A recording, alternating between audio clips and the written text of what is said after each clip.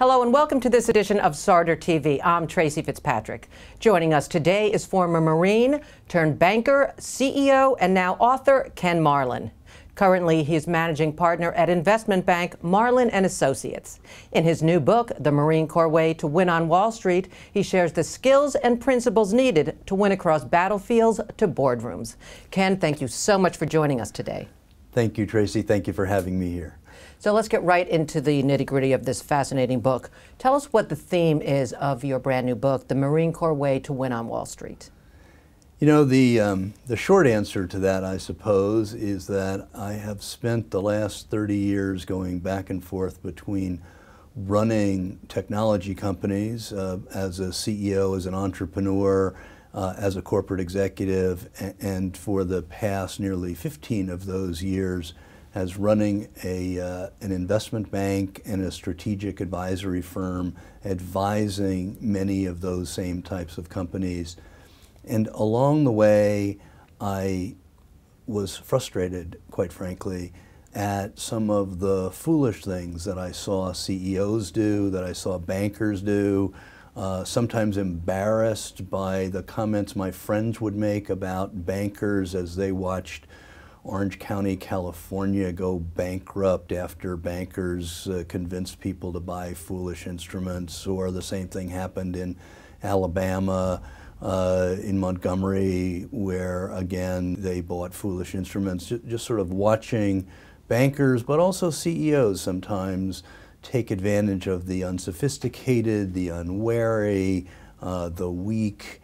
And, uh, and I used to regularly say to my friends, why can't CEOs, why can't bankers simply live by some of the same principles I was taught as a Marine? They would make just as much money.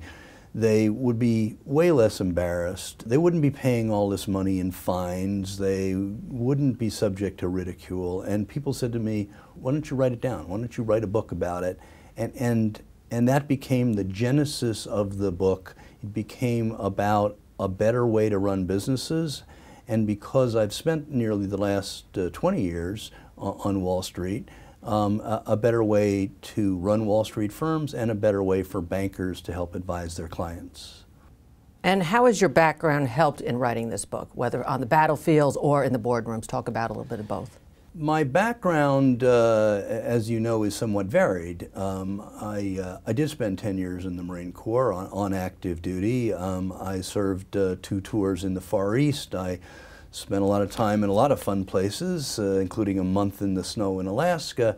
But that's not my only background. Um, I then spent 10 years as a corporate executive, helping to lead global strategy for Dun & Bradstreet uh, back in the days when Dun & Bradstreet was a, a, a, diversified holding company of which the information technology company, the credit information company that we know it as today, was one of 23 different divisions. So D&B in those days owned AC Nielsen, which does the media and TV ratings. It owned IMS Health, which tracks the movement of pharmaceuticals. It owned the Gartner Group, which knows all about computer technology. It owned Moody's, the bond rating company.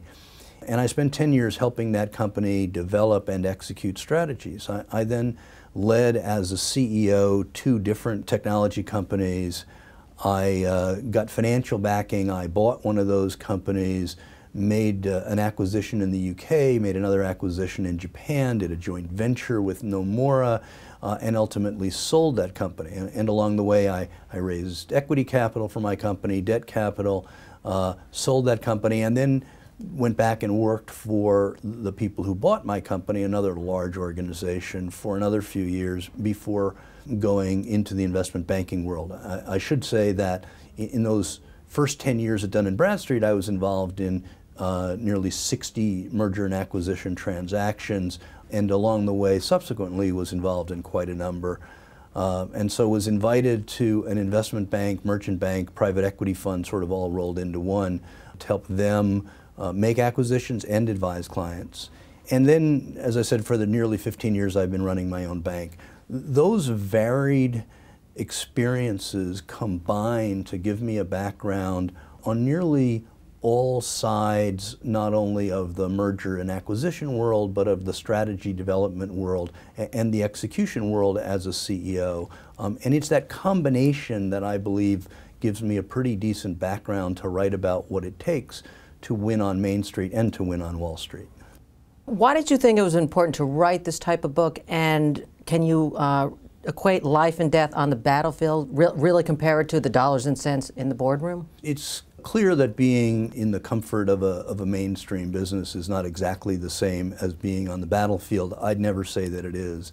Um, but there are decisions that CEOs make, there are decisions that bankers make that affect the rise and fall of companies, they affect people's jobs, they affect their livelihoods, they affect their careers, and in some cases, more than that.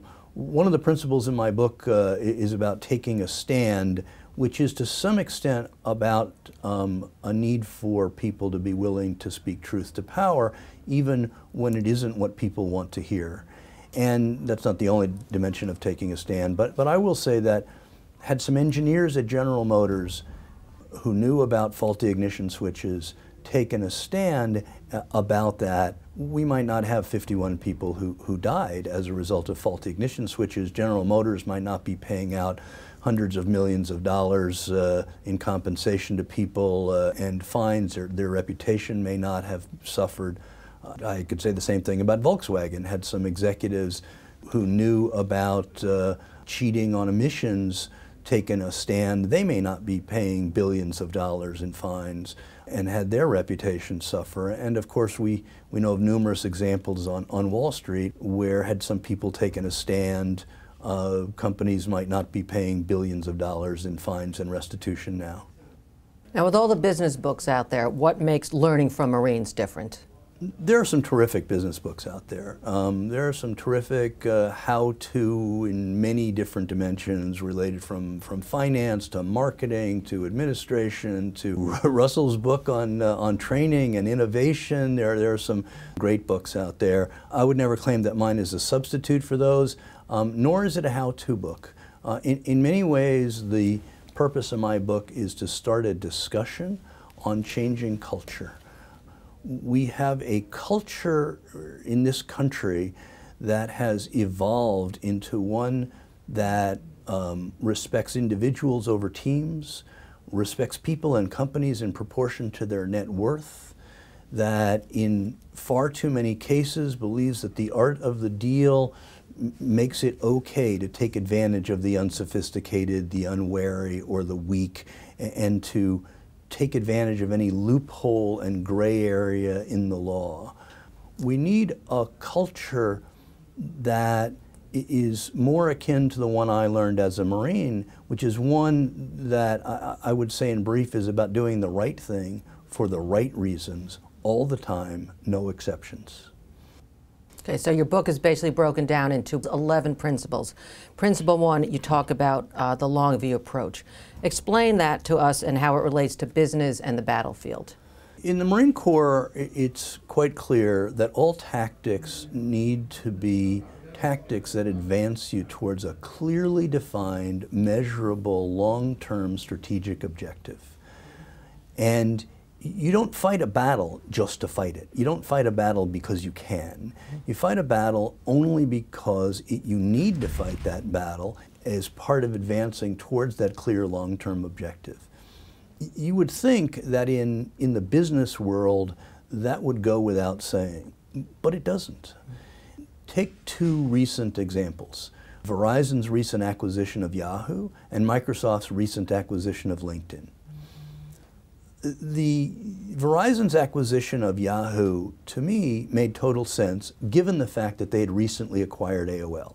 The acquisition of Yahoo and combining it with AOL put them in a much stronger position to achieve a long-term mission of being the, the clear market leader in general internet entertainment, news, sports as a website. And they paid a reasonable price.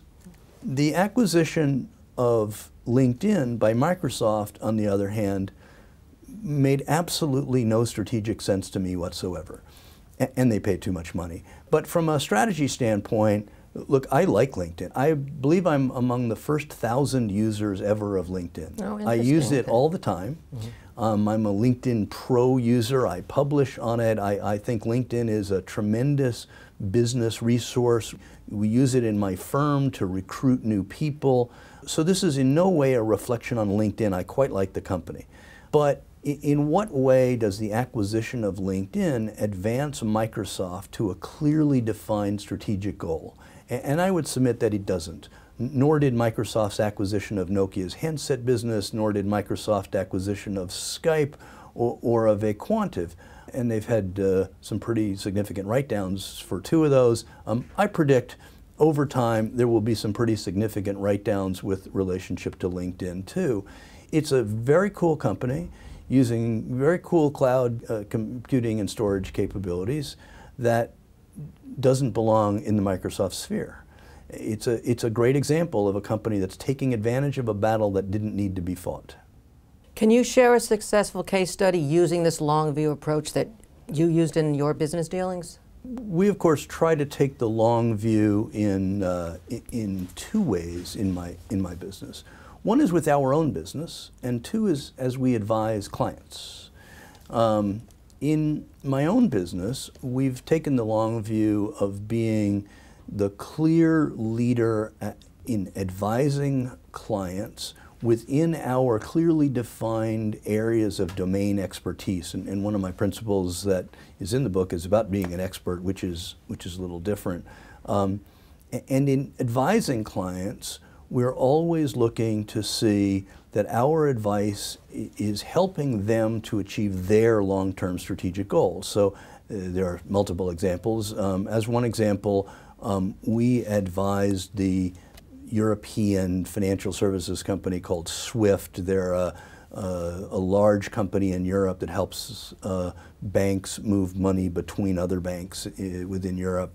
Uh, they came to us for help in looking at a specific acquisition opportunity. We worked with them, helped them understand the company. We looked into the company. We looked into the fit not only from a financial standpoint, but also from a strategic and a cultural standpoint.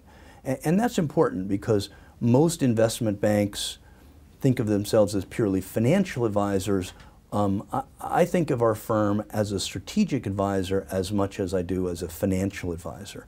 And we came to the conclusion that this, the acquisition of this company would not advance Swift towards the long-term goals that they had talked to us about. Now, there are many bankers I know who would say, shut up. they, they would say, that's not your job. Your client asked you to help them acquire this company. Your job is to help them. I went to the, uh, to the CEO of Swift and said, I don't think you should buy this company. And, and I gave him the reasons why. And, and again, I would say most bankers would say, you just put your fee at risk. Um, and it's true. Um, he, he agreed. Um, he heard me out. He heard out other people on his staff. He agreed. They did not buy the company. Um, we did not get a fee. But that wasn't the end of the story. They subsequently invited me and several of my other partners to come address the senior management of Swift in, a, in an off-site strategy review, asked us to help, help the Swift staff understand what to look for in an acquisition candidate, both from a financial standpoint and from a strategic standpoint and from a cultural standpoint. Um, we then helped them identify a different acquisition opportunity, which we did help them complete. We did get a fee, um, and that also shows that we as a firm were taking the long view in building our own long-term trusted advisory relationship with the client. And it also shows that we were focused on the client's long view, not on the short-term result. Okay, Marine Corps principle two is take a stand. Describe that philosophy for us. What's it all about? There are some people who think of that as meaning to be decisive, um, and it is true that um, decisiveness is um, a, a, Marine Corps leadership trait. Um, Marine Corps leaders are supposed to be decisive and not waffle about things, um, but there is a second dimension to taking a stand. Um, I referred to it earlier as speaking truth to power. It, it's not always speaking truth to power. It's this willingness to stand up and have your opinion be heard and be counted. Now, I say to clients all the time, you pay me for our trusted advice. I can't make you take that advice, but you can't make me give you advice that's not what I believe in. Small example, I, I told you the example of Swift. Mm. We had the New York Stock Exchange as a client. They asked us to advise them on the acquisition of a European company. We couldn't come to financial terms. They, they just wanted too much money for the company. I thought it was a terrific fit uh, strategically for the New York Stock Exchange. We just couldn't agree on price. The New York Stock Exchange had a fallback position, which was, well, if we can't buy the entire company, perhaps we should just buy 20% of it. And they had a direct conversation with the people on the other side who were also interested in potentially uh, selling them 20% of the company. I looked at that scenario, we, we had a number of conversations about it, and came to the conclusion that it made no strategic sense for them to buy 20%. It made total strategic sense for them to buy the entire company. These are elements of the company that competed with each other. They were also highly complementary in terms of US and European presence. There were tremendous opportunities to reduce costs. There were opportunities for them to stop being in price competition with each other. Um, and uh, quite frankly, the European company was run a little bit uh, too loosely for my taste, a little bit too entrepreneurial. They had a whole bunch of scattershot projects that were going on, and I thought that the New York Stock Exchange could impose some discipline. But if they were to buy 20%, they wouldn't get the cost savings. They would continue to compete. Um, the company would continue to be run by the same people in the same way, just as loosely. I thought it made no sense. Um, I took a stand. I advised the CEO uh, of my opinion. He listened, he talked to his people, and he respectfully disagreed. And he said, Okay, I heard you, Ken. We've decided we want to buy it anyway. Um, it wasn't illegal, immoral, or unethical. And, and so I saluted. And I said, Okay. And I helped him get the best possible deal with the most protections that we could. Um, you need to take a stand. That doesn't mean that you need to poke your client in the eye with a sharp stick, and it also doesn't mean that you have to insist that they do what you advise. How often do you refer to the Marine slogan, What now, Lieutenant, and when, confront, when we are confronted with a tough business decision? In my head, I refer to it quite often. I don't say it out loud too, too often. Uh, early in my Marine Corps training, there were a, a series of um, exercises we went through, um, many of which started with a scenario without a resolution. You would, uh, uh, for example, you're on the mortar range one day, um, somebody drops a mortar into the tube, it's supposed to fire, it, it doesn't. Somebody goes up, kicks the mortar, it explodes, and it, and it injures the guy. The next day, you're on the mortar range, somebody, the same thing happens, somebody says, go kick the tube, and everybody says, no way, I'm not going, right? What now, Lieutenant? What, what do you do? Mm-hmm. And then there's a discussion about what do you do? And the real point is that as a Marine Corps officer, you can, if there's time, you can get input from various people, but at some point you have to decide. And you have to decide with imperfect information, certainly imperfect information about what the future will bring. And um, you have to take the facts you have, those are the only facts you're going to get when time is up, and you have to make a decision. And I periodically say to myself, What now, Lieutenant? Both in the battlefield and the business world, one faces difficult situations that require that split second uh, decision. Keeping that in mind, how do you define uh, the situational leadership that you talk about? Let me um, make a distinction between managing and leading. Most people, most of the time, manage. And by that I mean they're given a situation they can't change. You're given this office in this building at this time, and these are the resources that you have, and you need to manage them as best you can. Uh, and, and, most people work really hard to, to, to make those resources that they have available to them and the constraints that they have to work with and make it work. And, and that's what managing is all about. You're, your territory is limited to this state or this country, and that's what you've got. Leaders need to be willing to challenge the status quo. There's a quote by George Bernard Shaw that I'll probably mangle, but it is something to the effect that The reasonable man sees the way the world is and conforms himself to that world. The unreasonable man sees the way the world is and insists on conforming the world to him. There would be no progress without the unreasonable man.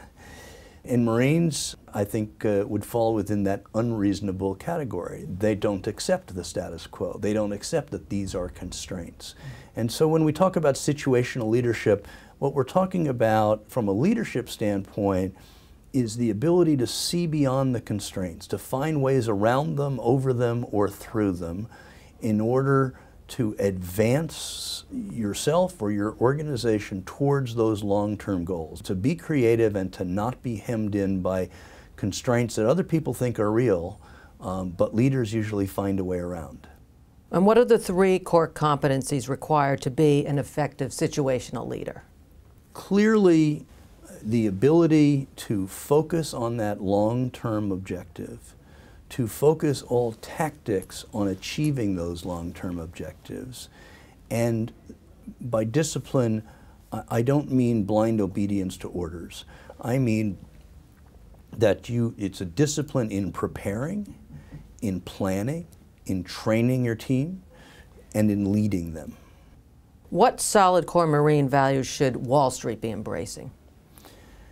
You know, uh, there are 11 principles in my book, and I believe that they combine to form an ethos that people should that that uh, that people on Wall Street should follow, and that people on Main Street should follow, and frankly, I think a lot of people in Washington D.C. should follow. Um, if I had to boil it down to a tagline, I'd probably say "Do the right things for the right reasons every time, no excuses." Principle four is know the enemy. So, how important is it in business and the battlefield to understand the opposing force or your enemy, as you talk about? The enemy in business is usually not someone trying to kill you, nor are you trying to kill them. Um, in most cases, what we are talking about is a situation in which you are negotiating with somebody who is on the other side of the table. And, and in that context, um, there are many books about negotiating. There, uh, I, I, took a course up at Harvard from the people who wrote Getting to Yes, and they talk about knowing your best alternative to a negotiated agreement, which I quite agree with. Um, I, have uh, read and uh, taken classes with other people who've got negotiating tactics, and they talk about things like anchoring, where where the first person to either set a price or a time limit or whatever has some advantage because then everything gets negotiated off of that an anchor point. These are all very important. Um, there are also, but what I get to in the book about knowing the other side is about knowing the strengths, weaknesses, capabilities, and in particular the motivations of the people on the other side of the table. Nobody thinks of themselves as a bad guy, mm. right? Nobody thinks of themselves as irrational. Nobody thinks that what they're asking for is unreasonable. You may think that of them, mm. but they don't think that of themselves. To the extent that you can understand the constraints that the people on the other side are under, to the extent you can understand why they want what they want, it puts you in a much stronger position to negotiate a solution that they're likely to accept and you are. Now, I'm not in any way advocating being a wimp. I'm not advocating going native. I'm not advocating that just because somebody wants something that you have to give them that something. Um, that's different. Um, when I work for a seller, part of our job is to help that seller get the best possible price. When I work for a buyer, part of our job is to help that buyer pay the lowest possible price. But we also want to get a deal done. So understanding those strengths, weaknesses, capabilities and motivations of the people on the other side of the table are key to getting that done. Those other things that we talked about, anchoring and best alternative to a negotiated agreement and the like, are tactics that you use in order to try to get to that agreement. But if you don't understand the other side, you'll never get there. Can you share a case study of when you use the approach, know your enemy? there are so many because every single deal we use. Um, I, I, actually um, sometimes like to talk about ones in which I was personally involved with as opposed to where I advised a client, although there are clearly many. I say to people that I, I was never so focused on the words in an agreement as when it was my money going to, to buy my company or my money when I was trying to sell it or my money when we were making an acquisition for my company.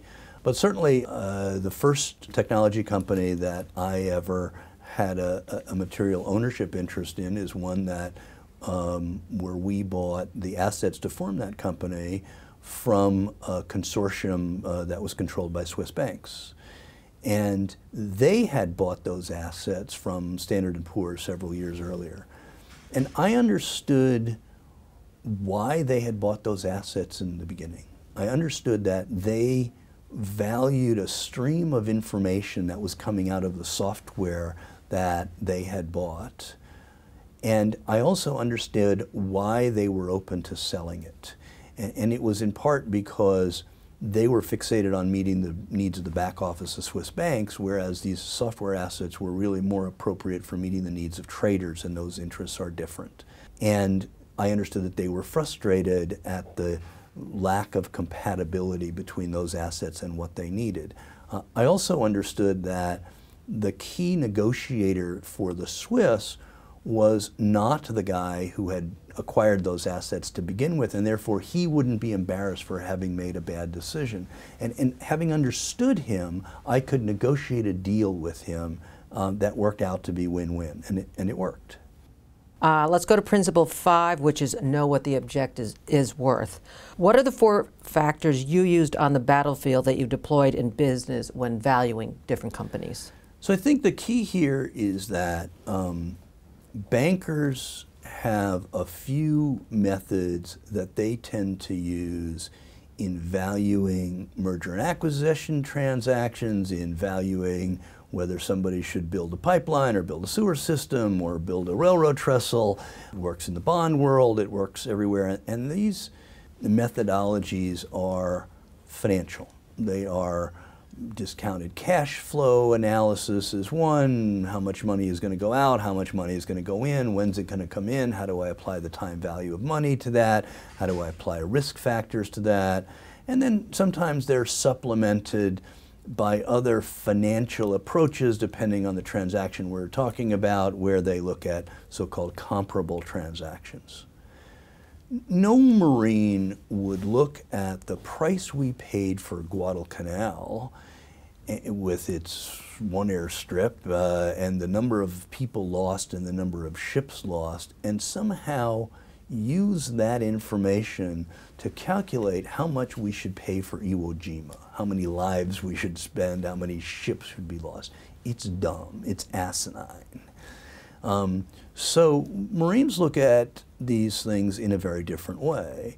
Um, the first one is simply how critical is achieving this goal to the long-term mission?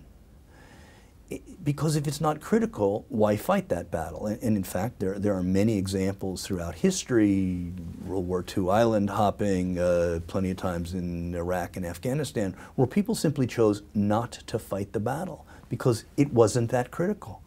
It's too bad Hewlett Packard didn't decide not to make some of their acquisitions. It's too bad Microsoft didn't decide not to make some of those deals. You don't have to fight every battle. How critical is it?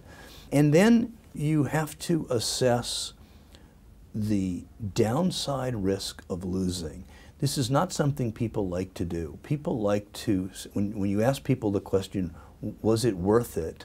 they answer it in terms of whether they won or they lost. If they fought the battle and won, then they say, yes, it was worth it. If they fought the battle and lost, they say, well, no, it wasn't worth it. Well, you have to say, is it worth fighting this battle even if you lose?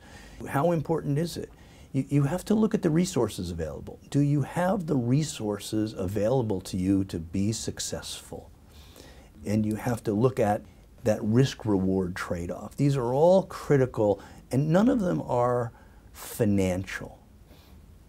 That is not to say that in business one should ignore the finances, mm-hmm. not at all. It, it is a factor, but it can't be the only factor. Tell us about a company who did not consider this approach before a buyout. There, uh, you know, we can look at this from the perspective of the buyer. We can look at this from the perspective of the seller. Uh, you know, I had a client one time that was asked us to help them uh, buy their company, actually basically find a new owner. There was a company, the CEO of a subsidiary came to us. Current owner was merging. They no longer had the attention. We're open to sell it. The management team wanted us to help them find a buyer, pull the company out, and, uh, and, go forward with, the, with a new partner.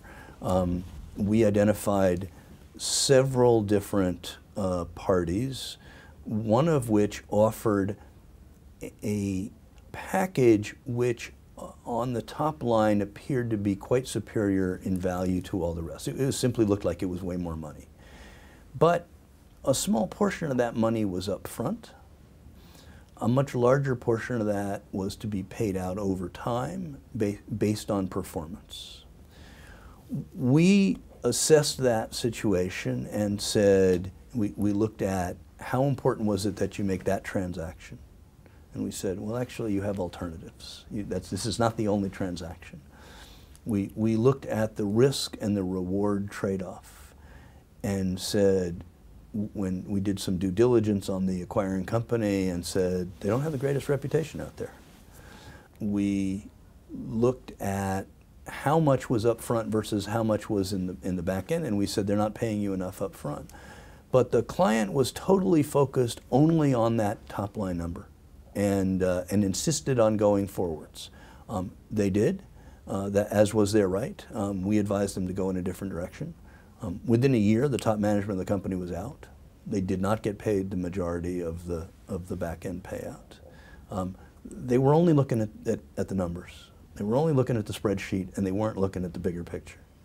What kind of financial risk analysis is important to consider during mergers and acquisitions? Look, all financial analysis is extremely important. Whether we're working with a buyer or we're working with a seller, we help develop very detailed cash flow models that project cash flows out uh, usually five years into the future. They're, they're very detailed. They understand that revenue is price times quantity. We break down various sources of revenue. We look at product mix. We look at changes of price over time. We look at all the various elements of the cost structure, people costs, support costs, sales costs, rent costs. We project it all out in detail. Here's the problem. It's all projections. It's all subject to manipulation. It's all subject to somebody's opinion as to what the economy will do, what the rate of growth will be, what inflation will be, and a thousand other factors. So it's important to do the financial analysis. It, it's important to, to make sure, it, it sometimes can help you can stop you from doing something foolish. It sometimes can point out if you're a buyer that a seller has not fully baked in the costs of growth into the company. It can be very helpful directionally, but you can't 100% rely on that financial analysis. You have to go beyond that. Principle six in your book is Know Yourself. How has the Marine Code of Honor helped you personally and professionally? Let me separate that into two parts. Um, the know yourself here, um, uh, General James Mattis is a fairly famous Marine, uh, led the, the, Marines in Iraq, uh, and, and, then led, later led the entire Marine Corps. I'll paraphrase a quote, which is to say, you, you need to be brutally honest with yourself. If you fool yourself, the results are, are not going to be good. You need to to be brutally honest with your own capabilities, your own resources, and know what is doable. We have too many CEOs who overreach. We have too many politicians who, who uh, promise things that they cannot possibly deliver on. Um, you have to know what's possible and know what can be done, or, or the results can be catastrophic. And in the book, I, I, I, talk some more about how one does that. The Marine Corps Code of Honor is not exactly about knowing yourself, it, it's about being true to yourself. The Marine Corps has a motto, Semper Fidelis, always faithful. and it is always faithful to God, Corps, and country. And it's always faithful. It's not some of the time. Um, and it is a, a, a variant on do the right thing for the right reasons every time, no exceptions. Now, how did you leverage this code to help grow your own company, Marlin and Associates? Well, I think what I leveraged was the 11 principles. And as part of that, I uh, absolutely um, doing things with honor is a part of it. Um, I have a slight digression in the book. It didn't really fit, but I wanted to fit it in someplace um, where I talk about um, the object of life. Um, the object of life, to be clear, is different from the meaning of life. I have not yet figured out the meaning of life. Uh, and I do know that some people who believe that the object of life is to accumulate the most toys. Um, I've evolved a, an object of life which is to maximize volume, and volume has four dimensions. Um, the first three are fairly easy to talk about. They're length, width, and breadth. Um, length um, is not exactly the amount of time that you're on the planet. Um, it's, uh, but, but it has to do with the amount of time you're on the planet, and, and also it has to do with the amount of time that you spend learning things. Um, width has to do with the number of different experiences you have while you're on the planet. Um, you, uh, you may be in the news business uh, at, at, right now, uh, but at some other time you may have uh, played classical violin or been a soccer player or something, or traveled to Machu Picchu, or done other things that give you width in life. Um, depth has to do with how deep you get into any one of those experiences. Um, so if we take Mozart, who died at about 35, I think, um, had tremendous volume in his life. He, he had uh, didn't have a whole lot of length, but he had great width. He visited all the courts of Europe and, and huge depth in, in his music, so he had great volume. Um, but I did say that um, volume has four dimensions, not three. And, the fourth is honor um, because I don't care how good a serial murderer you are, right? You get zero volume from that. It, it, volume is a multiplier. And the flip side of that is uh, uh, Mother Teresa, and, and, and, I'm not Catholic, um, gets a tremendous multiplier for the honor that she showed in, in what she did. And so when you you can't exactly multiply these things. I, I, don't know how you do the arithmetic, but, uh, but if you do take length, width, depth, uh, and, and honor, you can get a measure of volume. And the object of life, in my view, is to maximize volume. How did the Marine Corps principle control the timing help you with this Subserveo buyout that you were involved with? First thing I should say is that when I talk to people, uh, clients, about controlling the, um, the timing, they very often think it has something to do with surprise. And um, I tell people this has nothing to do with surprise. Uh, Saddam Hussein could not have been surprised when the Allied forces uh, attacked and, and, kicked him out of Kuwait. He, he probably watched the buildup for months on CNN. And yet he, he couldn't stop it because the Allied forces controlled the timing. Um, in the Yom Kippur War, the Egyptians and the Syrians surprised the Israelis. But shortly thereafter, the Israelis managed to get control of the process and were able to win that war. So, so this is about in, in whether we're talking about mergers, acquisitions, or, or other strategic actions that a company takes. It could be the launch of a new product, it could be opening your Shanghai office, it could be any one of a number of things. It's about the importance of controlling the timing and making sure that these actions happen when you have the resources in place, both the material as well as the people resources, when you're not being conflicted or constrained by other things that are going on, and when you can do your best to ensure success. Uh, and I talk uh, quite a bit about that. Um, in the case of uh, Subserveo, which you're talking about, which was a Canadian client that we had uh, a few years ago, and I use as an example in the book, we had a, a client that was um, being led by a very talented young woman, a CEO, um, who had built and successfully sold another company that was backed by uh, some financial sponsors, um, but hadn't made a whole lot of money in that earlier sale. She didn't own a whole lot of the of the equity. She owned some, and So was looking to this deal, uh, this company. Uh, they did plan to sell it. It was backed by financial sponsors. Um, they planned to grow it and sell it in a few years uh, for a lot of money, and she planned to make a lot of money. We'd been talking to them for quite some time. We understood that in a few years that uh, they'd look to sell the company, and we'd probably advise them in the process. Um, and they were approached by another company that was themselves trying to control the timing. The other company identified this company. It was fast growing, uh, using a hot technology in a hot space. Uh, fully buzzword compliant, cloud-based, uh, uh, mobile-based, B2B, uh, recurring revenue, all these good things. And the other company wanted to buy them now while it wouldn't be expensive. And they came to us and said, what should we do?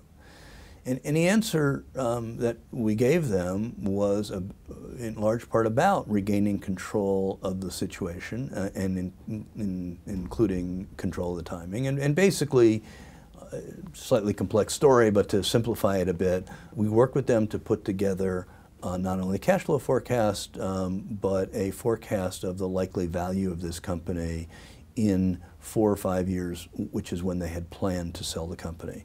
Um, we uh, went to the, the proposed buyer and basically said, um, we have no plans to sell the company right now, but we do have plans to sell the company.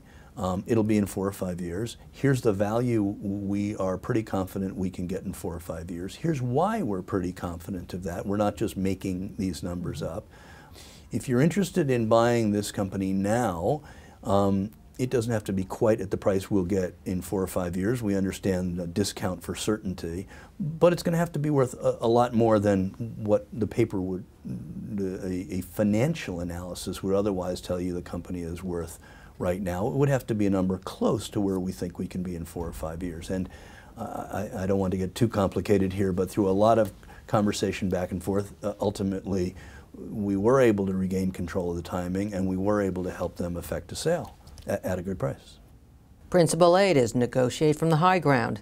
So tell us about a successful transaction where you negotiate from the high ground in spite of being bullied. I can't imagine you being bullied though, but did that actually happen? Um, Marines don't bully yeah. well. they, don't bully. Um, so first of all, I should say that negotiating from the high ground has two connotations. Um, one, of course, is tactically it's the place you want to be. It's the place where you have leverage. It's the place uh, you know, uh, physically, if you were talking about a combat situation, it's literally the high ground. It's the top of the hill. You can see everything all around you. You can rain fire on those uh, below you. Much easier to rain fire on the people below you than for them to fire coming up. Much easier to defend. And sticking with that aspect of it for a minute, um, it, it's where I think Donald Trump in The Art of the Deal would talk about looking at areas in which you have negotiating leverage, in which you have a stronger position than the people who are on the other side of the table and, and, and ways in which you can take advantage of that. But there is a second connotation to negotiating from the high ground that's missing from the art of the deal. And that has to do with the moral high ground. That has to do with doing the right thing for the right reasons. It has to do with not taking advantage of the unsophisticated, unwary, or weak simply because you can. And I am a big believer that Marines don't do that. Marines don't take advantage of the weak, Marines protect the weak. Again, I am not a socialist. I make money. I want my people to make money. Um, and I am not advising that people sort of roll over and give money to people and leave it on the table. Um, but at the end of the day, I want to feel good about the negotiations. Uh, I tell my people, we don't lie, and we don't let our clients lie. Um, if we give our word that we will do something, we do it, whether we are contractually and legally required to do it or not, we gave our word. And that's all part of negotiating from the high ground. You mentioned being bullied, and, and you're probably referring to a vignette that I had in the book. We had a UK based client. Um, that uh, was backed by Goldman Sachs and uh, one of George Soros's funds uh, and led by two founders was a software company that addressed the hedge fund world and uh, had a lot of people coming after them looking to buy them. Um, they asked us for help. We um, negotiated with several different parties. Um, there was a U.S. company that I won't name who actually had a, had a UK head that the founders quite liked and got along with him quite well. And that guy was appointed as the lead negotiator. And we negotiated a deal. We thought we had a deal. The um, next thing we knew, the UK negotiator was overruled by his boss, the CEO back in the United States, and was um, forced by his boss to come back and change some of the terms that we had previously agreed to we decided to go and uh, have a meeting with the CEO back in the United States and walked into the room. And, and the guy absolutely thought that he had all the leverage. Um, he thought that this thing was all about the money. Um, and he was uh, what I would call a bully wannabe. Um, and, uh, and he proceeded to tell us in, in fairly clear and no uncertain terms about um, his deal was the best uh, we were going to get. It was a great deal, and yes, he changed the terms, but uh, he looked at it and he decided that was what was fair and that was what we were going to take. We said thank you very much. We left the room politely and then walked away. We told him, we're not selling the company to you.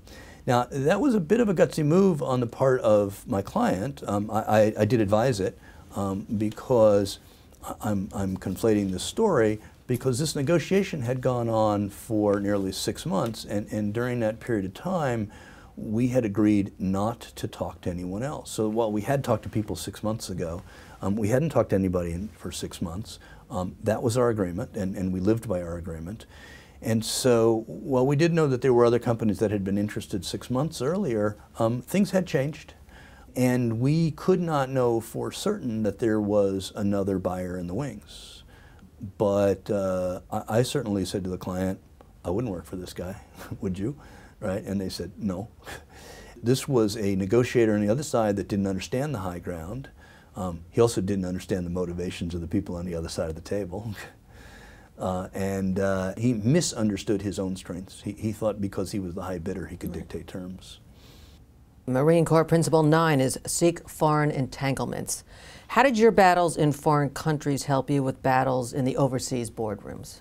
Well, I, I think seeking foreign entanglements is an important thing for leaders of U.S. businesses in general, um, and it's an important dimension that bankers and consultants need to have when they're advising clients. So about a third of our clients are based outside of the United States today. About 50% of our transactions involve a non-U.S. participant. So sometimes it's a U.S. client, but a but a, a non-U.S. player. And within that, I would say about 20% of our transactions never touch U.S. shores. They're they're non-U.S. to non-U.S. That um, ability to work with people and companies outside the United States, I think is absolutely essential in the modern business environment. If you are constrained by geographic borders, you are constraining your abilities to grow, to thrive, and to win. I first, I think, uh, began to develop an appreciation for the differences between our culture and others when I was in the Marine Corps. And I spent time, I think, in 13 different countries when I was in the Marine Corps. Uh, you know, from the Philippines and Hong Kong and Australia and Japan and Korea and, and uh, in several places in Western Europe. And you begin to understand that different cultures have different ways of doing things and that doesn't make them wrong, it just makes them different, mm-hmm. including in, in many cases literally a different sense of right and wrong, um, of acceptable and non-acceptable behavior um, of different negotiating styles, of sometimes of a different meaning for the word yes and the word no.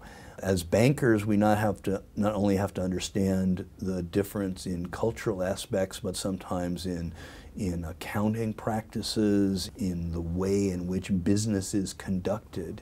And we've taken that approach from the beginning in my company, the, the, the international approach. When we work with a seller, we look for buyers around the world, wherever they may be. When we work with a buyer, we often look for sellers in, in various parts of the world that help advance their strategy. Um, sometimes we're hired specifically, we're hired right now specifically to help somebody find a way to advance their strategy in Asia.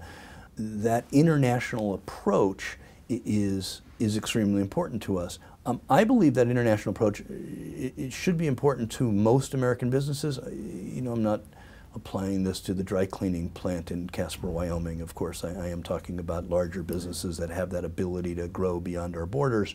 Um, I, I think the ability to embrace non-U.S. cultures is something that I wish more of our politicians had, and, and were sort of less afraid of, of people in, in other countries and other cultures. Growing interlinks of globalization has its impact on an organization's financial, production, and services aspects.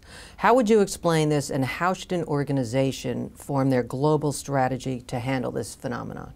To begin with, I'll say that my book is not a how-to book. Um, in, in each element of growing a business, um, one could write volumes. And, and certainly in, in developing an international practice, my one short chapter on seeking foreign entanglements is not going to be enough for, for anyone. It, it's really a bit of a primer both on why you should, and, and, I also have some rules of international negotiating in there that people should, should think about. The very complex acts of establishing an international business depend on the international business on the business itself and on their strengths, weaknesses, capabilities, and motivations. And as a small example of that, um, I, I, told you that 50% of our transactions involved a non-U.S. player, and 30% of our clients, or about a third of our clients, are based outside the United, the United States. We don't have an office outside the United States. Well, we have an office in Toronto, but we have no office in Europe, nor, nor do we have one in, in Asia. We have offices in New York, Washington, D.C., San Francisco, and Toronto. Um, and from those offices, though, we spend a tremendous amount of time in Europe and in Asia and in Australia developing business and executing business. So it isn't always required for every business that you set up an office there. It's it, it's very situational. Principle 10 is trust and verify. Explain the importance of the trust verify due diligence principle during negotiations. I'm quite familiar with Ronald Reagan and Reykjavik, who um, didn't coin the phrase trust but verify, but he, uh, he certainly popularized it uh, uh, when negotiating, I, I, think, with Gorbachev. Um, I, I, changed trust uh, but verify to, to trust and verify really to make a, a fairly simple point, which is that there are no agreements without trust. You know, the, the trust but language sort of takes away from the word trust, and, and when you say trust but verify it, it makes it seem like all the emphasis is on the verify. There are no treaties that can be signed, there are no contracts that can be signed that don't have an element of trust to them. If you sign a contract with an employer and that employer promises to pay you a gazillion dollars a year for the rest of your life, you're trusting that they'll still be around, that some lawyer won't find a way, a loophole in it. Um, there's, there's always some level of trust when you enter into an agreement with another party. And without some level of trust, there can be no agreement. You, you'll never get there. And you can't, you just can't protect against everything. I, I can tell you about a deal I lost. It was uh, with a Japanese company um, because the Japanese were quite used to contracts that were short and basically say we're each going to do the right thing for each other versus the Americans who insisted on very long, detailed contracts in an attempt to protect the client from every possible thing that could possibly go wrong, no matter how, how unlikely. Uh, the Japanese came at it from the perspective of a wedding contract, mm -hmm. and the, the Americans came at it from the perspective of a prenup. We never got to a deal. It, it just became too hard, and the, and the Japanese walked away from it. Um, so the trust part is important, and, and that means you have to know the people on the other side. Um, you have to know your own capabilities, and you have to figure out whether you can trust them. But trust alone is, is foolish. You do have to verify. And in the merger and acquisition world, that process of verifying is often referred to as due diligence reviews. Um, due diligence reviews is something that comes out of a legal term. Um, uh, given uh, Sarbanes-Oxley, other uh, laws in the U.S. and Europe and Asia, CEOs are can, can be held personally liable in some cases, and their companies can be subject to lawsuit if they enter into agreements in which they did not exercise due care and due diligence to make sure that everything was proper and above board. And some of these due diligence reviews can be extremely detailed. And we help buyers to conduct due diligence reviews when we're working with the buyer. When we're working with sellers, we usually help them manage the due diligence review by the buyer. And sometimes you have to do both because if, the, if we're working with a seller, but the buyer is, for example, going to pay you over time, then we have to ascertain that the buyer has the wherewithal to pay you over time. If the buyer is going to pay you with stock, we have to do some work to verify that the stock is actually worth something. There was a case written up in the New York Times a few years ago in which a husband and wife started a company in the voice recognition business. Um, think of Siri on your phone. Right. You know, developed a, a, a voice recognition uh, capability that uh, can, could be used in a, in a variety of ways. It was an attractive company. There were a number of people who were interested in buying it they were advised by a, a well respected investment banking firm. They solicited bids with the advice of their bankers, um, accepted an all stock offer from a company.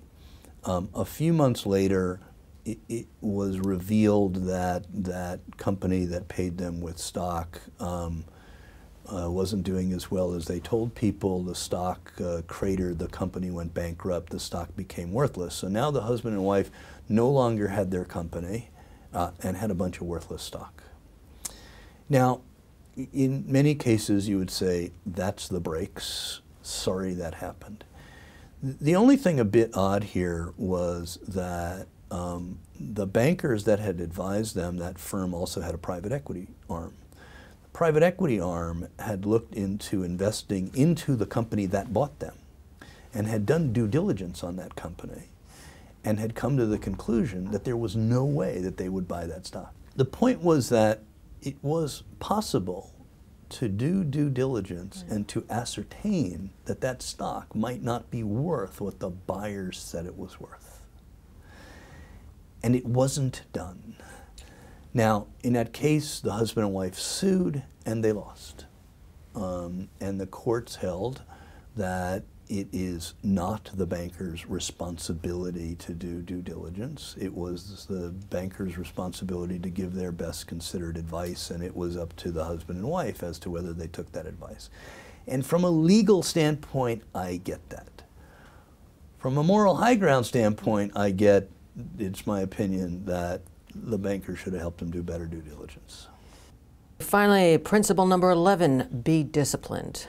Why do you think bankers and politicians should adopt the marine disciplined approach, and which leaders have successfully embraced this? When I talk about discipline in business, discipline in the political arena, discipline on Wall Street, I, am not talking about blind obedience to orders. Um, I'm talking about being disciplined in your planning being disciplined in your preparation, being disciplined in your execution. I'm talking about not skipping steps, not being lazy, having disciplined processes, because without them, you're just courting disaster. There are companies like General Electric and like Warren, people like Warren Buffett who are renowned for being disciplined in their planning and preparation and execution. Um, it is not an approach that is limited to Marines. Um, but we see way too many lazy people or people who just don't know any better. We see them as CEOs, we see them as bankers, we see them as politicians. I believe that there are some very competent bankers out there, so, so let nothing that I say imply that all bankers or even most bankers are, are this way. I, have seen some great ones uh, that, uh, you know, in, in a lot of different areas. I, I worked with a guy named John Veronis and John Suhler, who were bankers who were, who were very disciplined in their approach. Uh, uh, I worked with Goldman Sachs a long time ago and a banker named Jeff Boisi who was very, very disciplined in his approach. Uh, we recently worked with uh, Blackstone and saw some very disciplined bankers. So I, I don't mean to imply that they are all a bunch of lazy crooks. It's not true. But we also work with a number who, and, and have seen a number who sort of seem to do the minimum. Tell us, how has this discipline principle guided you in any of your business transactions or decisions? We you know, I, I, use the term we because I tend to think of that as a firm, but you know, in forming the, the firm that I have now and in helping to guide it and helping to set a culture, um, it's all about not skipping steps. It's all about doing the right things for the right reasons every time, no exceptions. It's all about disciplined, careful planning before we act, careful preparation, knowing ourselves, knowing the people on the other side it's about taking a stand with our clients, telling our clients we're not ready to go right now, all right, or we are ready to go right now and it's time to stop waffling. It's about embracing the international aspects of the, of the transaction and seeking foreign entanglements. Um, it's about using experts. I'm uh, sometimes surprised at the level to which we have become a nation of generalists. My father is a retired uh, mechanical engineer. He's got his master's degree in thermodynamics. He used to work at the Cummins Engine Company, and he used to talk about some of the leaders at Cummins who were very smart people, um, went to top schools, had top MBAs, knew a lot about finance, they knew about labor negotiating, they knew about motivating people, they knew about sales and marketing, and they didn't know a piston rod from a crankshaft. How do you run the Cummins Engine Company if you don't understand engines? How do you lead them to the next level in where engines are going? And the answer is you can't. You can manage, but you can't lead. We have too many generalist CEOs. We have too many generalist bankers who think that they can advise an aerospace company one day and a dog food company the next because they think it's only about process. We have too many generalist politicians who think because they know how to get elected and reelected that that qualifies them to have an opinion on Social Security or NASA or, or, or the defense budget or, or agriculture. Mm. They have not developed any particular level of expertise. By the way, again, I, I say we have too many of them. I don't mean to imply that there aren't some who have developed those levels of expertise. We just have too many who haven't. So uh, absolutely, all 11 of those principles have guided me in, in, how we have formed the firm and how we run the firm and how we advise our clients. And are there one or two Marine Corps principles we should always have in our arsenal so we can su succeed ethically in our careers? I consciously did not write a book about ethics. Um, I'll answer your question because there are, but um, but this is not a, a book in which I'm uh, trying to teach people somehow to be morally superior. Um, this is a book about 11 principles that people can use to run a better business and feel better about themselves along the way. So things like taking the long view are not about ethics. They're about a smart way to run a business. Thinking now, think, think, taking a stand and speaking truth to power is not really a, a, an ethical matter uh, other than being true to yourself.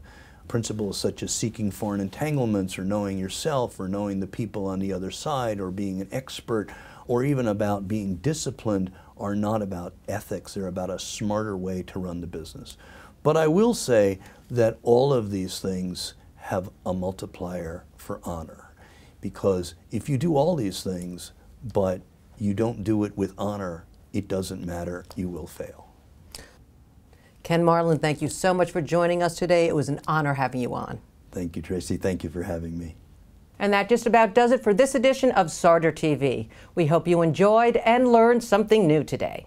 Until next time, I'm Tracy Fitzpatrick. Thanks for watching.